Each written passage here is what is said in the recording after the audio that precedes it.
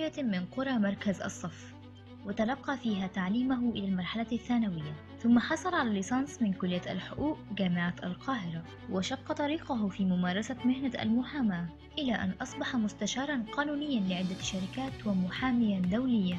من أبرز مواقفه هو الاهتمام بالشأن النقابي والتصدي لمشاكل النقابة. ثم خرج من الشأن النقابي إلى عموم الشعب المصري. كما عهدناه دائما صاحب الرأي والموقف الأستاذ أشرف الرفاعي المحامي بالنقض والدستورية العليا والإدارية العليا والملقب أسد المحاماة. اليوم نراه يسلط الضوء على مشكلة جديدة تهم عامة الشعب المصري وهي عقود البيع العقارية وشركة الاستثمار العقاري.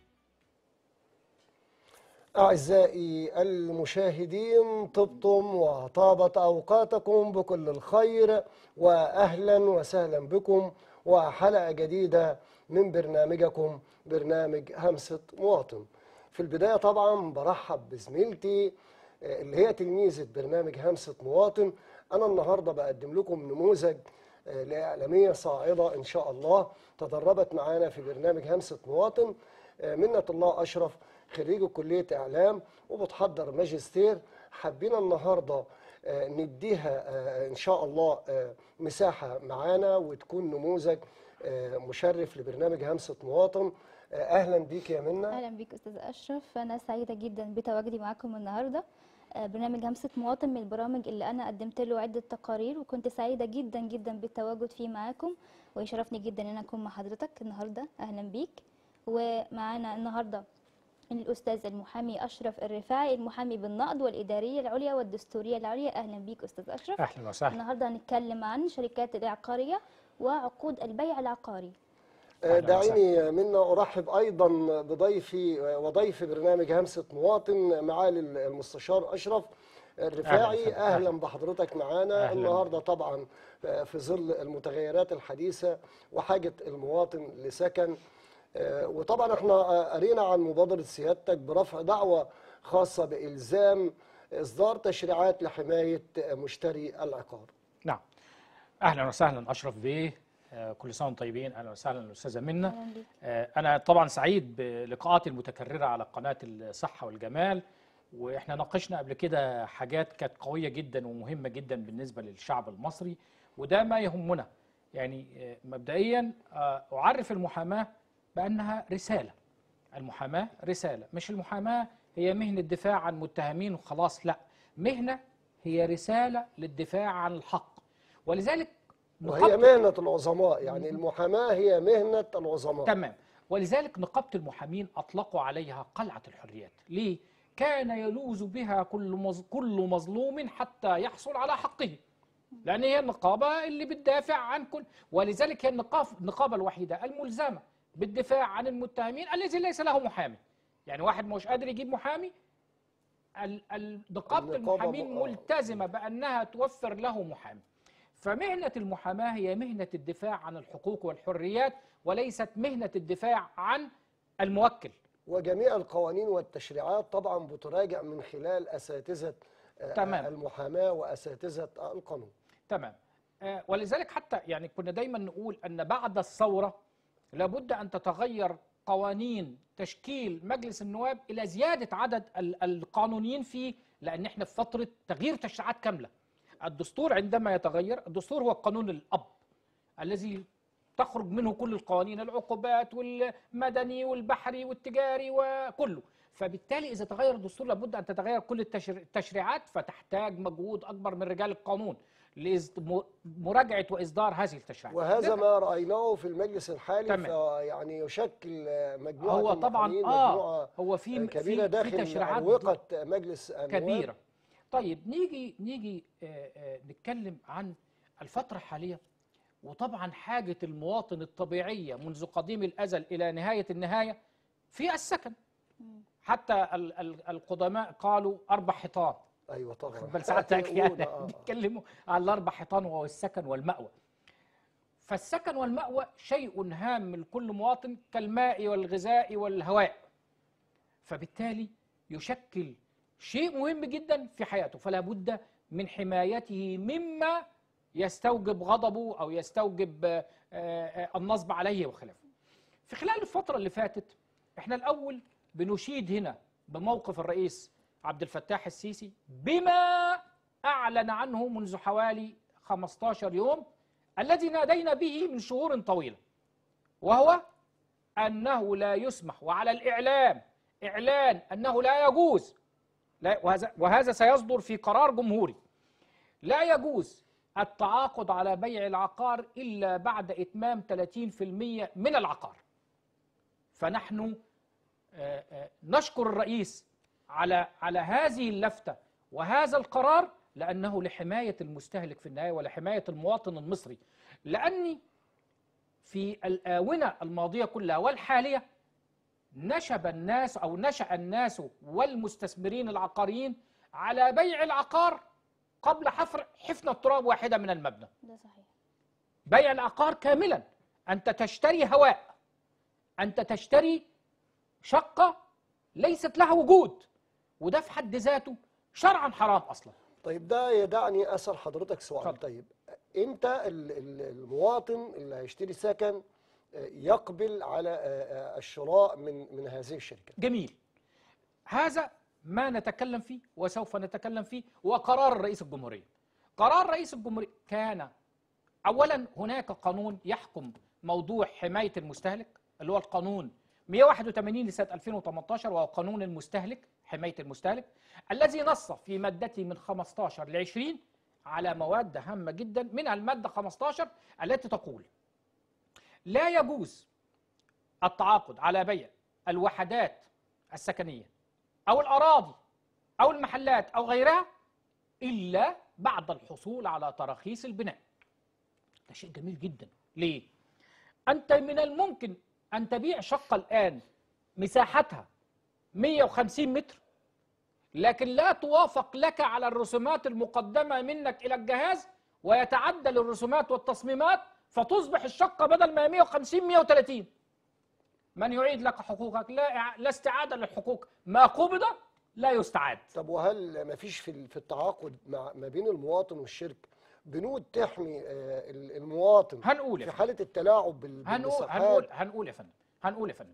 القانون لم يتضمن عقوبات على من خالف قانون حماية المستهلك. يعني يعني الماده 15 قالت إيه؟ لا يجوز. ولم تقل ويعاقب بالحبس أو بالسجن كل من كذا خالف كذا كذا كذا. واخد بال سعادتك؟ زي مثلا لما تيجي المادة 336 من قانون العقوبات اللي بتقول كل من استولى على أموال كذا كذا كذا يعاقب بكذا. اللي هي المادة اللي دايما بنلجأ ليها لعلاج هذه القضية. يعني لما لما بتحصل شركة أنا لدي كثير من الشركات دون ذكر الأسماء. اذا هذا يستوجب تشريع آه، نعم. نعم. تشريع إلزامي في إلزامي، عقوبة جنائية. عندما ت- نحن تعودنا تعودنا منذ قديم الأزل أن الناس ترتضع. ما, ما, ما, ما يأتي بالسلطان لا يأتيه القرآن. يعني إذا قعدت تقرأ على الناس قرآن ثلاث أربع ليالي ممكن لا يرتدع لكن بالسلطان أي بالصوت أو بالعقاب في دقيقة يكون كل شيء. كما قال المثل البلدي زمان قال إيه؟ اضرب المربوط. يخاف السهايب يعني يا فندم أنت الآن آه، آه، هت- هتقوم بعملية نصب على المستهلك. صحيح. مستهلك هذه السلعة اللي هي السكن. إن لم يكن هناك إن لم يكن هناك قانون- عقوبة. آه عقوبة. إن لم آه. تخشى العقوبة. يعني إن لم تخشى العقوبة ده في مشكلة تانية بتواجهنا. أن كثيرا كثير من الأم من هذه الأمور التي فيها النصب العقاري بعض وكلاء النيابة يكيفها على أنها منازعة مدنية. يعني إيه؟ إحنا إحنا بنرجع أما تكون الشركة مثلا قبضت الأموال ولم تسلم الوحدة المتعاقد عليها. دي بنسميها إيه يا فندم؟ بنسميها نصب. نصب لأن لأن لأن المادة 336 انت خدت مني فلوس. أو بأن أوهمه بمشروع وهمي للاستيلاء على كل أمواله أو آه. بعضها واخد بال سعادتك؟ أوهمه بمشروع وهمي. يعني أنت قلت لي تعالى يا أشرف هعمل لك مشروع برج وسلمه لك ب 2 مليون جنيه. والبرج يتكلم في 100 مليون جنيه. وأوهمتني وخلتني أغرتني. فاديتك ال 2 مليون جنيه. ثم مفيش بح المشروع. هذا هو الإيهام الذي يعاقب عليه من المادة 336 اللي هو يعتبر مادة النصب بالاستيلاء على أموال الغير كلها أو بعضها. طيب القانون حماية المستهلك الذي نوهت عنه الآن في المادة 15 اللي هو القانون 181 لسنة 2018 قال إيه؟ لا يجوز التعاقد على بيع الوحدات السكنية أو الأراضي إلا بعد الحصول على التراخيص. لكنه لم يضع عقوبة لمن خالف ذلك. وفيها مشكلة تانية. أن أن جهاز حماية المستهلك نظرا لأن التشريع يقول لا يجوز فإن عرضت عليه قضية تم التعاقد على هذه الوحدة سابقا على تاريخ حصول ال- ال- ال- الترخيص فإنه يقول أن العقد لا يرتب حقوق ولا التزامات دي مصيبة. إذا أنت هتعمل عقد إذا أنت كشركة عقارية هتعمل عقد وأنا كمشتري منك هعمل عقد لن يرتب حقوق ولا التزامات يبقى ما فائدة العقد؟ لا فائدة ضاع حق المواطن. هناك مشكلة أخرى. هناك مشكلة أخرى. أن المستثمرين العقاريين رغم أنه رغم أن المشتري من المفترض أن يكون هو اليد العليا لأن الشركة العقارية هي من تتربح من- تتربح آه، من تتربح هذا من- العمل آه، طبعاً. للمواطن المصري البسيط أيوه طبعا أكيد إلا أن الشركة الشركات العقارية كلها نظمت لها عقود نظمها فاسدون اللي هي إيه؟ عقود إذعان من المشتري للبائع يعني أنا هشتري منك وأدفع لك فلوس وأنت سيدي يعني ده في شروط لو سمعتها تشيب لها الولدان. طيب إحنا معانا اتصالات كتير جدا. لما سمعوا حضرتك. فهناخد معانا ال- الأستاذ علاء. أهلا مساء الخير يا أستاذ علاء. مساء الخير يا أستاذ أشرف. الله يبارك لك. أخبار. أستاذ أشرف مين فينا؟ إحنا اتنين نحن, عشر نحن الأشرفين أو الأشرفين. أستاذ اشرف واستاذ اشرف رفاعي استاذنا الله يبارك لك يا أستاذ علاء الله يبارك لك. اتفضل اتفضل يا أستاذ اتفضل يا أستاذ علاء. أنا كنت عايز أعمل بس بشأن التصرفات العقارية في التوقيت كيف البيع اتفضل يا فندم. اتفضل حضرتك اطرح اللي انت عايزه. ربنا يخليك. حضرتك ال- بالنسبة للتوقيت البيع دوت مش كبيرة جدا. في التعامل معاه. لأن هو يا ريت حضرتك تقف في حتة فيها شبكة لو سمحت. آه الصوت مش واضح. حضرتك التوقيت توقيت البيع ألو. أيوة, أيوة فندم. في البيع.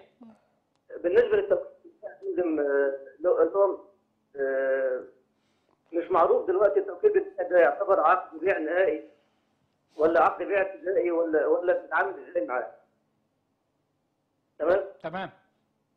ال- ال- التوكيل بالبيع لو حد عمل توكيل لأخوه مثلا عشان يبيع له قطعة أرض وهو مسافر في الخارج أو موجود في محافظة أخرى أو ما شابه ذلك ممكن يستولي الاخ ده بناء على هذا التوكيل ويبيع تأثيره في وإذا هما الاثنين المحكمه بتحكم بعدم جواز الغاء التوكيل. لكن في الفترة الفترة الأخيرة صدر صدر حكم رائع من محكمه بتاعنا رقم 4999 لسنة 91 70 مم. اللي بيجيز إلغاء التوكيل بالبيع للنفس أو للغير مم. تمام؟ إحنا بس الدولة المشكلة في التوكيل بالبيع في ناس كتير بتستخدمه لبيع دولة ما بتستخدمش من خلال هذا البيع على مستحقاتها. لا أستاذ أستاذ علاء ال- الجملتين الأخرانيين ما سمعناش حاجة منهم. ال- الشبكة يا فندم اقف في مكان شبكة. في شبكة لو سمحت. المكان عندك؟ حضرتك ال- ال- ال- الدولة لها حق في في المبيع. نعم. آه، والتوكيل بالبيع ما بيديش الدولة الحق ده في إن هي ت- تاخده لأن نعم. غير موثق نعم. الدولة بتاخد بتاخد حقها في الضريبه العقاريه من من ال ال ال ال ال العقود العقود المشهرة. ضريبة التصرفات العقارية. آه، وبالتالي ال- التوكيل مش مشهر. التوكيل موثق بس. نعم. وممكن يتعمل في أكثر من بيع والدولة ما تحصلش على حقها منه نعم. ودي مشكلة كبيرة. يعني لو حد عامل آه، عقد بيع لشخص معين ممكن يرجع فيه لأي سبب. أما التوكيل بالبيع ما يقدرش يرجع فيه. الحكم كلها بترفض. الرجوع في التوكيل بالبيع ودي مشكلة كبيرة. نعم. آه، طيب. طيب بشكر حضرتك يا أستاذ علاء ورسالتك وسؤالك وصلوا وهيجاوب عليهم إن شاء الله معالي المستشار. بشكرك يا أستاذ علاء خميس. آه، ونرجع لحضرتك تاني. آه، أستاذ علاء اولا التوكيل ليس إجراء بيع بحد ذاته ولا ينقل الملكية ولا يرتب أي حقوق إلا لصاحب التوكيل اللي هو الوكيل من إجراء تصرف معين. تمام؟ فلا يمكن التعويل عليه في حساب ضريبة التصرفات العقارية مطلقا. موضوع التوكيل مر بمراحل عديدة. مر بمرحلة التوكيل لما بيجي حد يعمل توكيل لحد ببيع عقار إذا كان هذا المشتري أو الوكيل هو المشتري الأصلي الفعلي ولكن نظرا لظروف ضيق الوقت أو خلافه لعدم إحداث التوك... ال- ال- التسجيل في وقتها فبيعمل له توكيل بأنه يبيع لنفسه ويسجل ويعمل كل شيء. مظبوط؟ تمام. يعمل توكيل للوكيل إنه يبيع لنفسه أو للغير ويسجل ويعمل كل شيء. طيب. هذا التوكيل غالبا أو دائما ما ينص فيه على أنه ليس للموكل حق إلغاء هذا التوكيل منفردا. ولا بد لإلغاء هذا التوكيل أن يحضر الطرفين لدى الشهر العقاري لإلغاء التوكيل. طب هذا وده وده وده يعني شرط جميل جدا شرط جميل جدا. لكن مر هذا الشرط بالكثير من الجدل على مستويات الأبو ال ال ال الكتب الصادرة من وزارة العدل بتعليمات معينة. فقد صدر سابقا أن التوكيل المكتوب فيه أنه توكيل للبيع للنفس للنفس وللغاية. وللغير بس للنفس آه. لشخص الوكيل لا يمكن إلغاؤه حتى لو صدر فيه أنه يمكن إلغاؤه. لا يمكن إلغاؤه لأنه بيع في في جواز بالبيع للنفس. للنفس. ثم صدر حكم محكمة نقض يبدو إن طبعا الحلقة طبعا وموضوع الحلقة شيق ويخص هو ناس كتير. صحيح. فإحنا هناخد اتصال. اتفضل يا فندم. ألو أستاذ محمد؟ مساء الخير يا فندم. مساء الفل يا أستاذ أشرف وأنا آسف على ذلك ده اولا. لا اتفضل يا فندم اتفضل. ربنا يخليك. أستاذ أشرف الرفاعي سيادة المستشار ممكن سؤال ده بعد إذن عليك؟ اتفضل يا فندم. ربنا يخليك يا فندم. أنا دلوقتي آه، كنت في أيام الثورة آه، ب- آه، في حد كان واخد شقة من الشقق الحكومية تمام؟ تتفضل يا معايا فندم يا فندم؟ نعم سامعك يا فندم. ربنا أراد إن أنا اشتريت الشقه ديت آه، من الشخص دوت وشهر العقار اداني آه، يعني سجل و وال- والجهاز بتاع المدينة سجل وقال إن الشقه دي بتاعته. وهي أصلا مش بتاعته. والنهاردة أنا أنا أنا في أي وقت مطرود في الشارع أعمل إيه؟ إيه اللي عدهولك؟ إيه اللي اداهولك الشهر العقاري ما يفيد إنه سجل لك الشقة دي باسمك. هل عملت شهر في الشهر العقاري وعملت دعوة صحة ونفاذ ولا سجل لك إزاي ولا عملت إيه بالظبط؟ سجل لي العقد اللي معايا. خلاص يا فندم ارجع الشهر العقاري بدعوة. لأن دي دي فيها غش وتدليس من الشهر العقاري ذاته. إذا كان ما تقوله هو الذي تم بالظبط. شكرا للاتصال يا فندم. شكرا يا فندم. نرجع لحضرتك. طيب آه، نرجع لموضوع ال- ال- ال- العقود شركات الاستثمار والتطوير العقاري وعقود الإجح- الإجحاف والإذعان ال- ال- السارية في المجتمع الآن. الآن أصبحت الشركات تبيع كامل المبنى قبل التخطيط له. مجرد ما قال حتة الأرض دي أنا اشتريتها. وهبني برج 30 دور يبتدي يبيع. لدرجة أن لدينا بعض الشركات التي رفعنا عليها دعاوى لصالح الموكلين بدون ذكر أسماء قد باعت شققا في أدوار لم ترخص لها الدولة ببناء هذه الأدوار. يعني باع مثلا على أنه هيبني 12 دور. وهو الدولة لم ترخص له إلا بست أدوار. ست أدوار. آه اصبح أصبح كده أنا اشتريت أصبح في مخالفة. ست أدوار في بدون- 10 آه، شقق ب 60 مستهلك 60 مشتري ما لهمش مكان. آه. من هنا من هنا ولكثرة القضايا في المحاكم ولكثرة الشكوى لرئيس الجمهورية ولكثرة الشكاوى للجهات المسؤولة أصدر رئيس الجمهورية قرارا الذي سنتكلم فيه بعد قليل اللي هو عدم بيع آه. عدم بجواز بيع أي وحدة إلا بعد تمام 30% من, من هذا العقار. آه وده الموضوع ده موضوع حضرتك خلاني برضو يعني يعني نسترجع لحاجة تاني.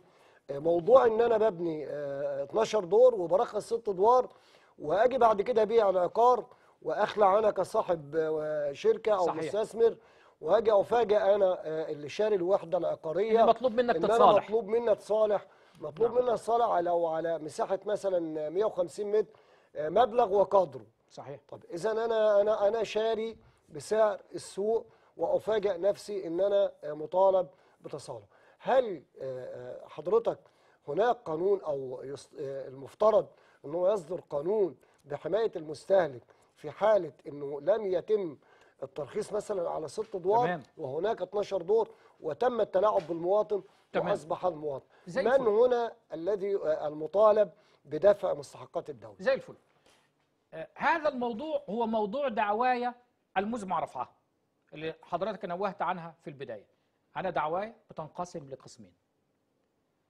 أو ثلاث أقسام. الأول يا فندم في جزئية لازم ننوه عنها أخرى هي ظلم الظلمات. وربنا سبحانه وتعالى في حديث القدسي بيقول يا يا عبادي إني حرمت الظلم على نفسي وجعلته بينكم محرما. فلا تظالموا فلا تظالموا. أنا الآن لو بعت للأستاذ أشرف هذه النظارة ولم أسلمها لك هل هذا بيع حلال؟ لا طبعا ليس بيع حلال وفي حديث كمان. بيقول يعني العقد شريعة. آه، شريعة المتعاقدين دي- دي لا قاعدة ده دي. قاعدة أما الحديث بيقول ما اتفق عليه المسلمان فهو واجب تمام و و والبيعان بالخيار ما لم يتفرقا آه، أنا اتفقت. اتفقنا على حاجة يبقى واجب على طيب. الطرفين إن هم طيب. ينفذوا الاتفاق إذا أنا معليك محل بيع بدل وبعت المعليك بدلة هل يجوز إن أنا أديك الجاكيت وأقول لك إن البنطلون ده خدمات عامة مش هسلمه لك؟ لا. طيب معانا اتصال ناخد اتصال. اتفضل يا فندم. ألو مساء الخير. السلام عليكم. السلام عليكم يا فندم. أهلا السلام. وسهلا بك يا فندم. أهلا بيك. بعد إذن حضرتك ممكن بس آه، سؤالي سياده المستشار اتفضل يا فندم. اتفضل يا فندم. حق الانتفاع يا فندم. يعني أنا بشتري شقة وملهاش حصة في الأرض. وحق الانتفاع يعني ليا حق انتفاع بس فده قانوني ولا مش قانوني ولا الأرض ممكن شقة ممكن تتاخد مننا بعد كده ولا إيه؟ أنا عايزة أفهم بس بعد إذن حضرتك. طيب شكرا يا فندم. هنجاوب. لا هو حق الانتفاع شيء واللي بتتكلمي عنه شيء تاني. حق الانتفاع أنا بشتري شقة بالانتفاع لمدة 20 سنة 30 سنة. بعد ال 20 أو ال 30 سنة من قضاء المدة المتعاقد عليها في الانتفاع ينتهي العقد واطلع بره. لكن حق الشراء اللي أنت بتتكلمي عنه الط- التاني أو البيع بعدم المشاركة في أرض البناء ده موضوع تاني. أنت بتشتري الشقة ما دام العقار قائما. طول ما واقف على عمدانه أنت مالكة. ودي كارثة. ليه؟ لأنه لو حدث أمر ما أدى إلى خلل بالمبنى وأدى إلى صدور قرار بالإزالة مالكيش أنت في المبنى. حاجة. أنت لأن بره. أنت- أنت مش شريكة في وعشان. كده يا آه. فندم نصيحة عامة لكل الشعب المصري. لا تتعاقدوا على الشقق مباشرة مع الشركات. لا بد أن يكون معك محاميا ومحاميا امينا. ليس أي محامي. لا بد أن يكون محاميا امينا تامنه حتى يضع لك شروطك. لأن يا فندم أنا شخصيا محامي أهو. عندما أردت أن أتعاقد على بعض الأمور دون ذكر أسمائها وجدت شروطا مجحفه شروطا تؤدي إلى سجن المتعاقد. يعني يا فندم عاير- هرجع تاني للي أنا كنت عايز أتكلم عنه. أنا بتكلم على دعوتي إنها تتضمن عدة أجزاء. أول جزء اللي قلت لك إن لا يجوز إنك أنت تشتري البدلة فتأخذ الجاكيت ويقول لك البنطلون منفعة عامه واخد بال سعادتك؟ هذا ما يحدث الآن في البيع العقاري. في مصر. يقول لك إيه؟ أنت بتشتري شقة 200 متر. 200 متر في الورق ويحسبها عليك 200 متر وتدفع ثمن 200 متر. يعني المتر ب 10000 يحسب لك في 200 متر. يبقى ب 2 مليون. يبقى 2 مليون. تدفع 2 مليون. تيجي تقيس الشقة تلاقيها 140 متر. الله يا جماعة. يا جماعة دي 140 يقول لك لا لا لا يا بابا. انت عليك 30% تحمل خدمات. هذا ظلم الظلم. يا فندم. طب إيه نوع الخدمات هو اللي أنا هو هو بقى آه. بيقول لك إيه؟ بيقول لك إيه؟ أنا اشتريت الأرض 1000 متر وأن جهاز المدينة فرض عليها البناء على 60% أو 50% فبالتالي لازم أحملك الأرض دي الضيعه أنا أرد عليه كما رديت على هذه الشركات. أنت أنت هذه المساحة التي خصصت للخدمات هناك الكثير من المشاكل عليها إزاي أن تحمل قيمة هذه الأرض على بيع المتر.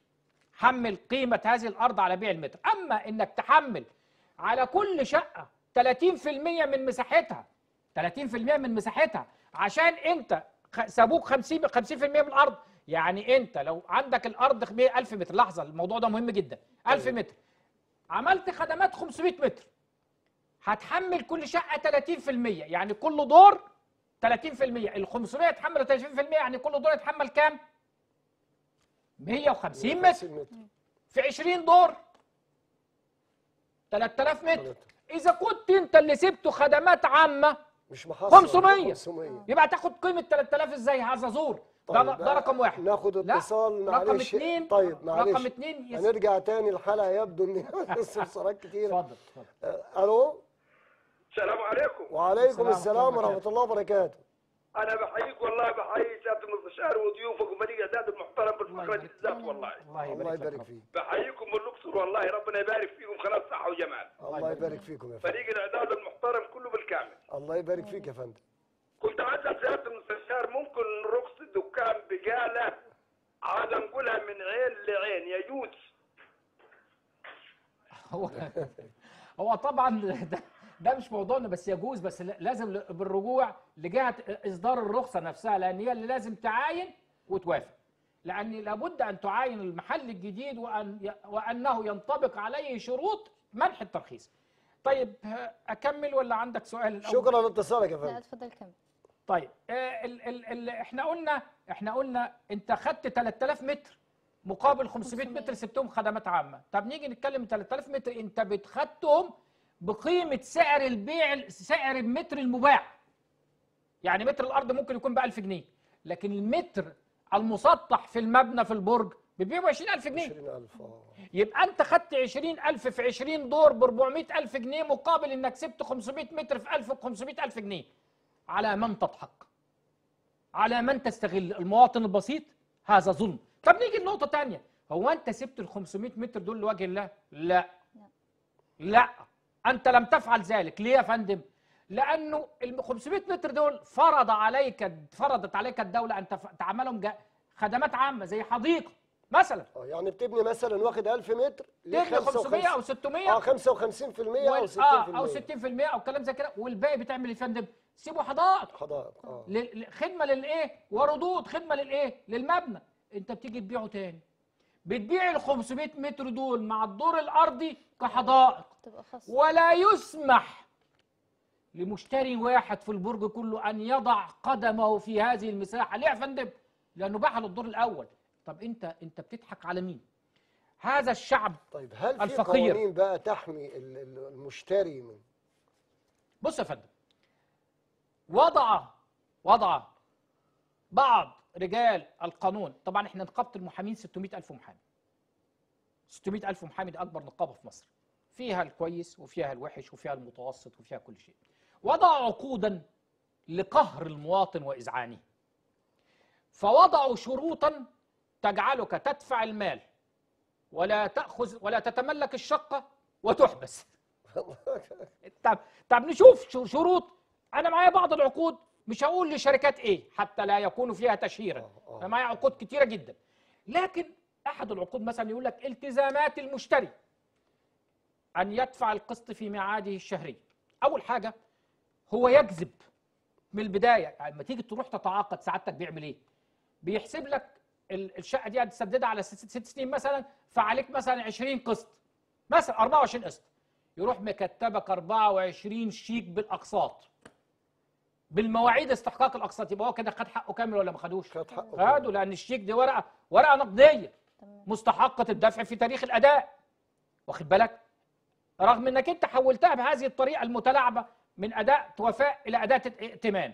طيب خد الشيكات يقول لك إيه؟ إذا تاخر أول حاجة يوم ما تتأخر في القسط هيعمل إيه؟ هيعمل إيه؟ هيروح يقدم الشيك ويحبسك آه حبسك يجي الشرط اللي بعده يقول لك إيه؟ إذا تأخر شهر طيب معانا محمد من اتفضل. القاهرة. أهلا وسهلا بيك أستاذ محمد. أهلا بيك. اتفضل يا أستاذ محمد. هو دلوقتي سيادة المستشار كان بيتكلم آه، في نقطة إن ال- الشقق اللي ملهاش حق انتفاع في الأرض دي ممكن لو العقار وقع يبقى أنا ماليش كده شقة. مالكش أرض. مالكش أرض. مالكش نسبة في الأرض. ماليش نسبة في الأرض. يعني أنت أنت لا تشارك لا تشارك المشترين الآخرين في إعادة البناء. دلوقتي الاسكان الاجتماعي كله قائم على ذلك يعني قائم على ده. إن أنا ما بيكونش ليا حق انتفاع في الأرض. خلاص أنت ارتضيت الشراء بهذه الطريقة وحدد السعر على هذا الأساس. أنا أنا النهارده اما أبيع لك شقة خلي بالك المالك برضو المالك له حقوق.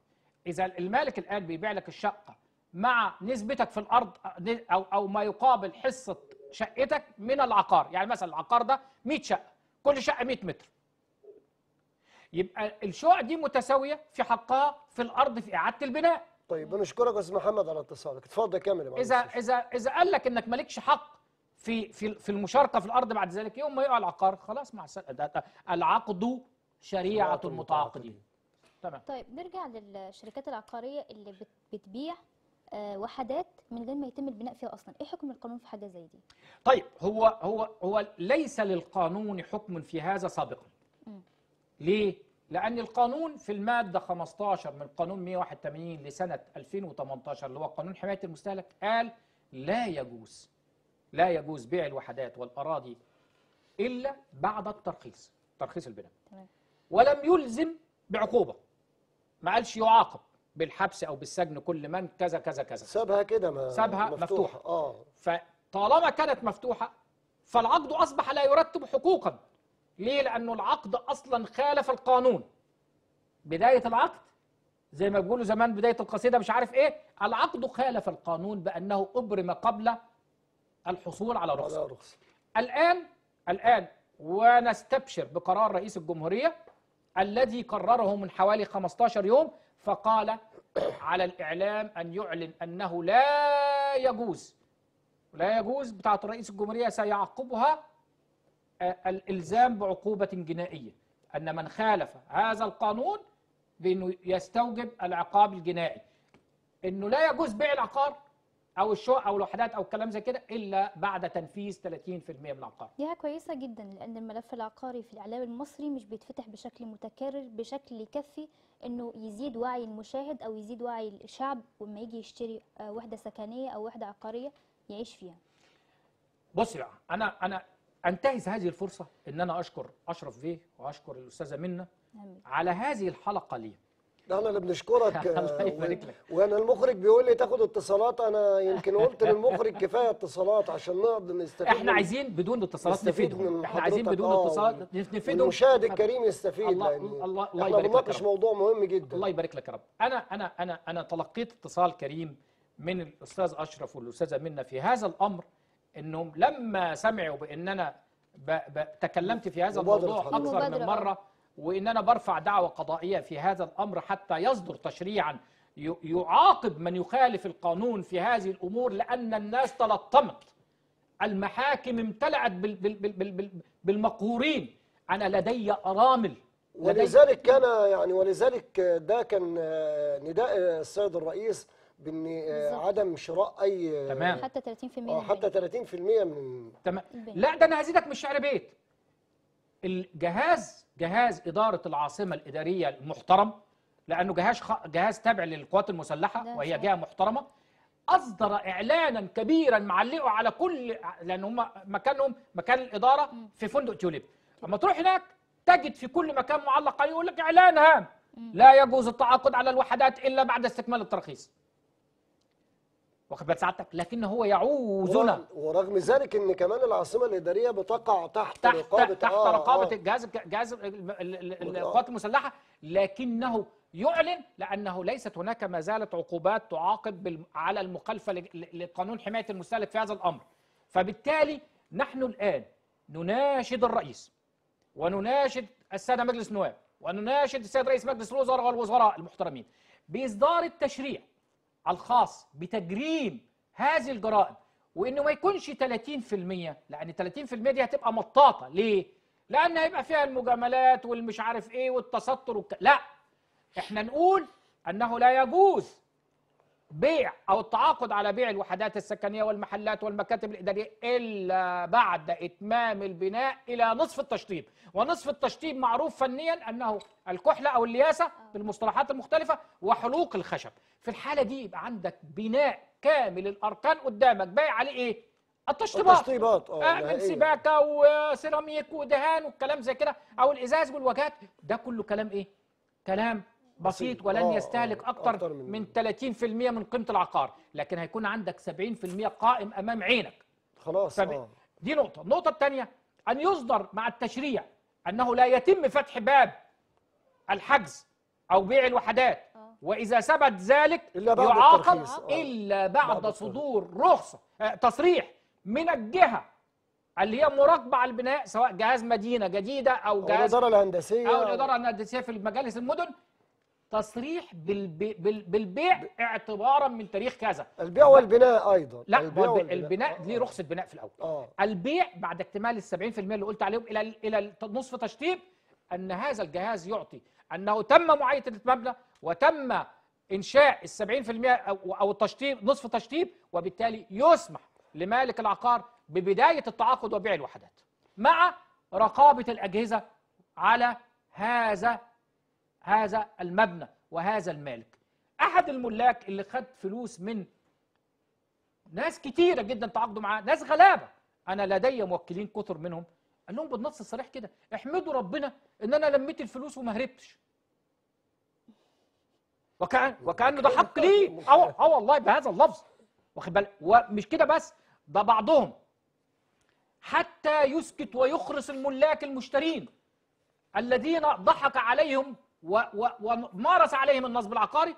يرفع عليهم هم دعاوى. دعاوى سب وقذف وتشهير ومش عارف إيه وبتاع والكلام زي كده. واخد بال؟ سعادتك بيقول لك آه، آه، ن- بيشهروا بيا. كيف يشهر المواطن بشركة نصبت عليه وأخذت أمواله ولم تعطيه ال- ال- الشقه المتعاقد عليها علما بأنه قد صدر مثلا حكم قضائي ضدك ضدك من القضاء. حكم عليك بحبس مثلا سنة أو سنتين أو ثلاثة بالمادة 336 المادة 336 معناها أنك نصبت. وإذا تكلم المواطن بحكم قضائي فلم يرتكب جريمة. طيب ده بيدعني أسأل حضرتك سؤال. هل من حق القضاء إنصاف مشتري العقار؟ شوف يا فارس. القضاء القضاء يده غير مغلولة إلا إذا غلت باتفاق الطرفين. بالعقد.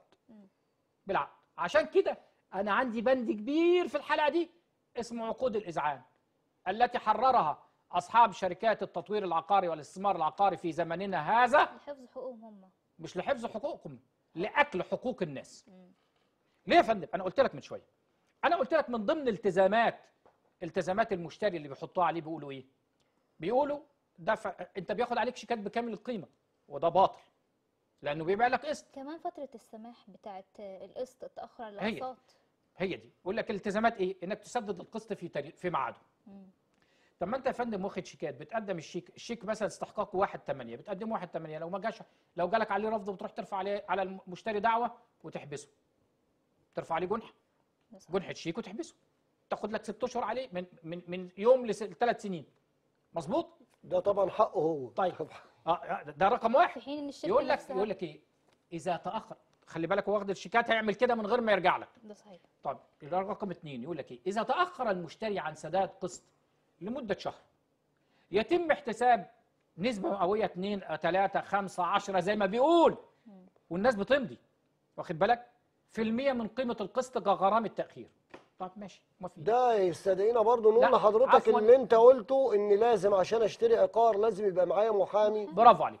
طب آه. هستأذنك بقى في النقطة دي. طب حطيت عليه غرامة في تأخر شهر يقول لك وإذا تأخر لشهر آخر. شوف بقى الجبر الجبر لل- للكبار المتمكنين من الصغار اللي هم حماية رئيس الجمهورية والدولة بأكملها. الفقير يحميه تحميه الدولة يحميه الرئيس يحميه مجلس الوزراء يحميه مجلس النواب. يقول لك إيه بقى؟ فتحل كل الأقساط كلها مرة واحدة في هذا التاريخ.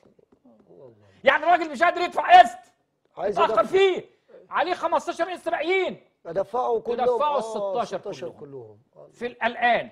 واخد بالك؟ ماشي؟ وإن لم يتم يقول لك وإن استمر إن استمر ال ال ال المشتري على هذا الإخلال. يقوم ال ال المالك أو الطرف الأول بفسخ العقد تلقائيا دون الرجوع للقضاء. خلي بالك هو قال وانت مضيت يبقى- هو ده اللي هيمشي. فسخ العقد الايه الاتفاق. تلقائي. شوف بقى الجبر اللي جاي. ويسدد ويسدد ال- ال- البائع اللي هو الطرف الأول للمشتري الذي فسخ عقده ما تم دفعه بنفس الطريقة التي دفعها. يعني دفع على 10 أقساط يتسدد له على 10 أقساط. استنى بقى أكتر من كده كمان. بعد خصم 10% من قيمة الوحدة كاملة لصالح الطرف الأول كمصاريف إدارية. يا دين النبي. يعني أنت لو اشتري شقة بمليون على 10 أقساط مثلا دفعت 100000 وباقي 9 أقساط كل قسط ب 100000 جيت ما سددتش قسط يحتسب عليك 2% الشهر الثاني يروح جايب لك كل الأقساط مرة واحدة ويروح خاصم عليك 100000 قيمة غرامة إدارية عليك بخلاف الاثنين أو ال 5% غرامة تأخير الشهر الأولاني وتحل كل الأقساط ويبقى يعمل إيه بقى؟ طب ده بقى ال- ال- الشرط ده بقى ممكن يضر المواطن المصري الغلبان في إيه؟ هسجل ان أن هذا العقاري القوي ده راجل بتاع سوق وراجل اقتصاد شاف إن الوحدة الآن غلت وثمنها بقى 2 مليون جنيه يقوم يعمل إيه؟ آه. بيحط لك شوية عراقيل أنت بقى تع- تعثرت في سداد قسط فورا يوديك الايه؟ محكمة. المحكمة، ياخد آه. حكم عليك يحبسك. اتحبست ما عليك. ولادك هيقدروا يسددوا؟ لا طبعا مش خلاص. حلت كل الأقساط. يبقى كده هيبيعك الشقة هياخدها هو. ويرد لك أنت أنت مثلا سددت 200000 هيخصم منهم 10% من قيمة الإيه؟ المبلغ. ال- ال- الشقة كلها 100000 و5% أو 2% قيمة غرامة. يبقى ادي إيه؟ 12% 12% آه. اللي هو كام؟ 120 ج- 120000 جنيه. ويرد لك ال 80000 جنيه بنفس الطريقة اللي سددت بيها على كم كم قسط.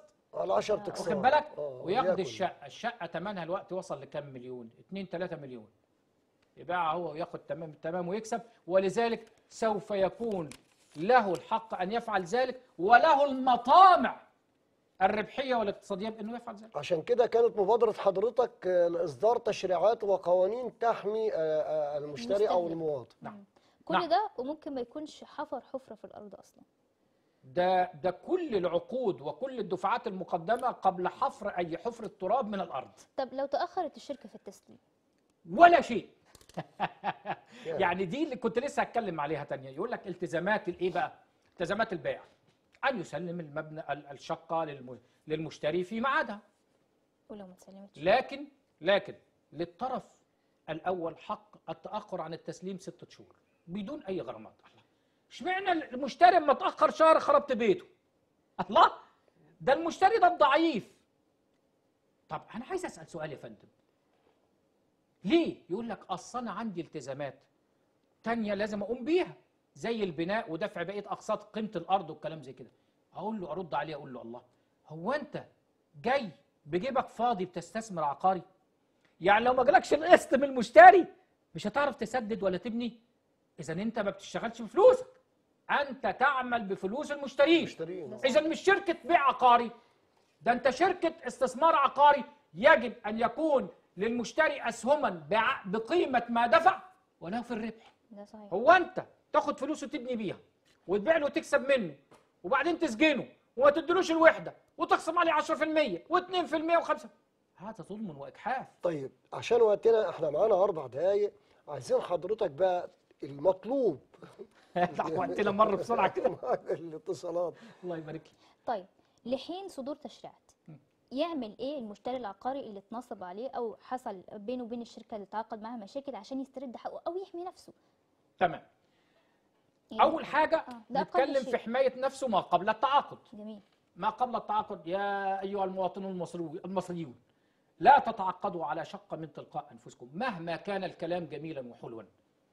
أسلوب المبيعات وأسلوب تشويقي ت- آه، آه، آه، يعني منتشر على السوشيال ميديا و... بي بيدي حاجات يعني مثلا تجد بعض الشركات على السوشيال ميديا عاملة إيه؟ تقول لك بعائد ربح سنوي 99% آه. ادفع مليون ونحسب لك مش عارف 99% بحسبة كده حسبة غريبة شوية أنا حضرتها وقعدت أتكلم فيها. عجيبة بيضحك على المواطن يقول له أحسب لك ربح وأرجع لك وأعمل لك. واما تيجي تحسبها في النهاية تجد إن- إنك مغلوب على أمرك. لا تشتري العقار لا تشتري العقار ولا توقع على كلمة واحدة إلا بوجود محام أمين معك يقرأ العقد ويفتته ويفنده كلمة كلمة.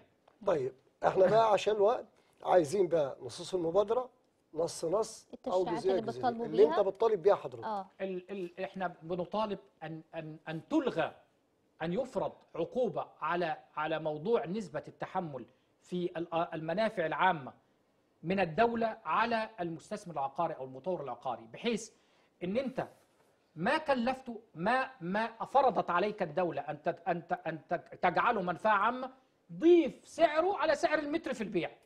لكن ي- يظل منفعة عامة ويشتري المشتري شقته إن كانت 200 متر لو قسى من الحيط للحيط يلقاه بقى نفس يلقاه الوقت. 200 نفس متر الماس ولا يحق ليه برضه إن هو يبيع المنفعة العامة للدور الأول ويحرم باقي برافو ال- عليك. آه. وتفرض الدولة عليه عدم بيع ال- ال- ال- المنافع العامة ل- لمشتر آخر وأن من حق جميع المواطنين أن يستمتعوا بهذه المنافع العامة وأن يستفيدوا بها. ده رقم واحد. رقم اثنين أن أن أن يطور يعني الموضوع ال- الحظر إلى موضوع عقوبة جنائية على كل من يلت... لا يلتزم القانون ب... بالبيع أو بالبدء في البيع وحجز الوحدات قبل قبل إتمام النصف تشطيب. كما نقول يعني حتى تكون عشان نبسطها للمواطن نقول ل- ل- كلمة لا يتم إلغاء كلمة لا يجوز ويض و- ويدرك يعاقب. مكانها آه، عقوبة آه. آه، عشان يكون آه، هناك يعاقب. رادع لهذه الشركة زي إيه يا فندم أنا هذكر لك حدث صبري رغم إن الوقت ضيق عندما كان أمور العقاء أمور الور- المواريث بيد الأبناء ظلمت كل نساء مصر أو بلاش نقول كل خليها غالبية ومعظم لأن في ناس في ناس بتوع ربنا بيدوا الحق. ربنا، آه. لكن ناس كتيرة كانوا لا يعطون الحق. عندما جاء الرئيس السيسي وهذه حسنة من حسناته ستك- ستكتب له. والله العظيم هذه حقيقة. فشرع القانون 217 لسنة 2019 الخاص بالمواريث وأنه كل من يمنع الميراث عن وارث يعاقب بالحبس إلى ثلاث سنين و- و- وغرامة 20 ألف جنيه. الآن من أول جلسة بناخد حكم على هذا مانع العقار الأخ الأكبر أو غيره بيلتزم. نشكر سيادة الرئيس الأب لكل. المصريين بنشكره. وتفضل كمل. فلا بد من تشريع تشريع جنائي يجرم يجرم موضوع ال- التعاقد على العقار قبل إنهاء نصف التشطيب اللي هو بيمثل حوالي 70% من العقار.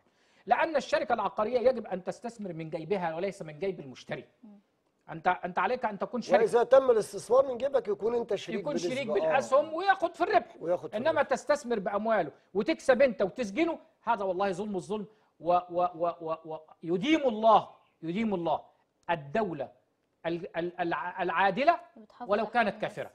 ويزيل الدولة ال- ال- ال- ال- الظالمة ولو كانت مؤمنة فنحن دولة مؤمنة أصلا عادلة ولدينا من التشريعات كثيرة ولدينا وأنت قلت أن سيادة الرئيس أصدر التشريع. أصدر حتى يعود. الحق إلى أصحابه. وهذا وهذا لو الشاشة ممكن تجيب هذا هذا إعلان أصلا منين من من جهاز العاصمة جهاز العاصمة إحنا. بنشكر حضرتك معالي المستشار وقتنا انتهى طبعا. الحلقة إن شاء الله نتمنى يكون في حلقات تاني آه، ونشرح باستفاضة للسادة المواطنين بشكرك منا آه، بشكرك معالي المستشار زي ما عودناكم دايما في نهاية حلقتنا برنامج همسة مواطن.